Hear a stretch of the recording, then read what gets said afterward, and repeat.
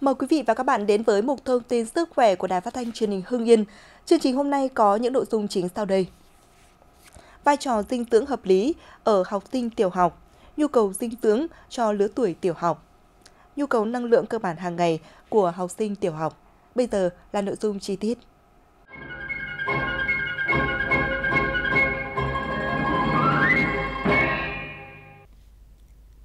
Trang Sức ở đời sống cho hay, đây là lứa tuổi cơ thể và tâm lý trẻ bắt đầu chuyển qua một giai đoạn mới rất quan trọng cho việc phát triển thể chất và tinh thần của trẻ. Là giai đoạn mà bộ não đã hoàn thiện, trẻ có thể học hỏi được rất nhiều nên nhu cầu về năng lượng cung cấp cho việc học tập tăng lên.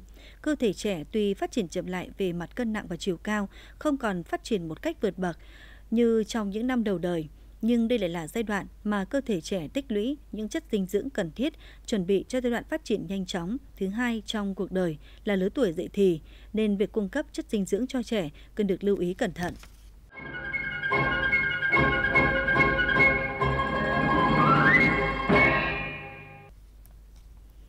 Trang Sức và Đời Sống cho biết, hiện nay việc cung cấp vitamin cho trẻ, đặc biệt là trẻ nhỏ và trẻ tiểu học còn thấp. Trong đó, vitamin nhóm B mới chỉ đáp ứng được từ 60 đến 70% nhu cầu khuyến nghị.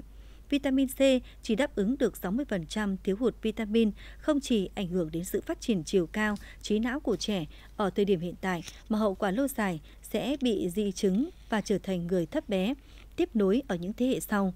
Nhu cầu về năng lượng và chất đạm ở lứa tuổi tiểu học như sau. 6 tuổi, năng lượng 1.600 calo, chất đạm 36 g. 7 đến 9 tuổi, năng lượng 1.800 calo, chất đạm 40 g. 10 đến 12 tuổi, năng lượng 2.100 đến 2.200 calo, chất đạm 50 g.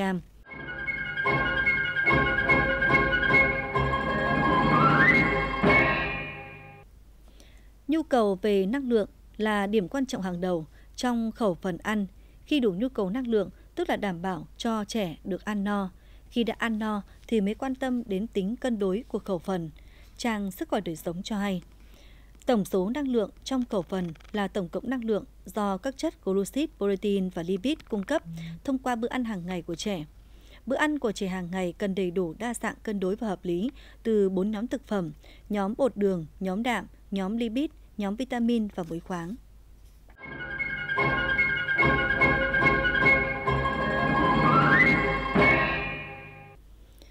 Trang Sức khỏe đời sống cũng đưa thông tin lứa tuổi này trẻ đã hoàn toàn ăn cùng với gia đình, tuy nhiên các bà mẹ cần lưu ý một số điểm sau.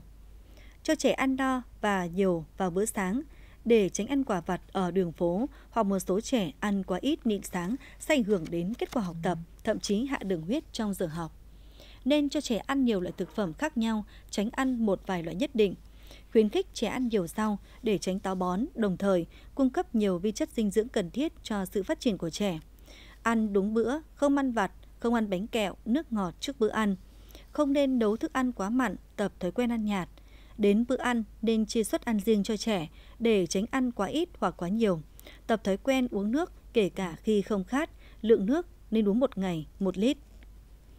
Giáo dục cho trẻ thói quen vệ sinh ăn uống, rửa tay trước khi ăn và sau khi đi đại tiện. Số bữa ăn nên chia 4 bữa một ngày, 3 bữa chính, một bữa phụ.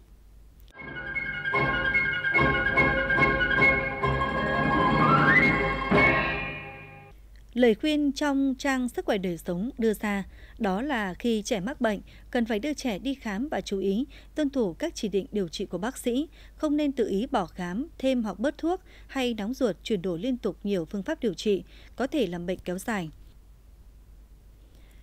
Khi trẻ bệnh, thường hệ tiêu hóa làm việc kém đi nên biếng ăn hơn ngày thường. Đừng nên hốt hoảng, bắt ép trẻ ăn đủ lượng thức ăn hàng ngày bằng mọi cách nên chia các bữa ăn ra làm nhiều bữa nhỏ, có thể cho trẻ ăn thức ăn lỏng hơn như cháo, súp, sữa. Không nên quá kinh cữ khi bệnh, dẫn đến không cho trẻ ăn đủ chất, làm cho tình trạng dinh dưỡng của bé xấu đi nhanh chóng và bệnh có thể kéo dài hơn. Sau mỗi đợt bệnh, nên chú ý tăng thêm bữa phụ cho trẻ để bù lại năng lượng đã mất trong quá trình bị bệnh. Quý vị và các bạn thân mến, trong chương trình ngày mai, mời quý vị và các bạn cùng đến với chủ đề các loại trái cây tốt cho sức khỏe trong mùa hè. Mời quý vị và các bạn cùng chú ý theo dõi. Một thông tin sức khỏe ngày hôm nay xin được khép lại tại đây. Thân ái chào tạm biệt.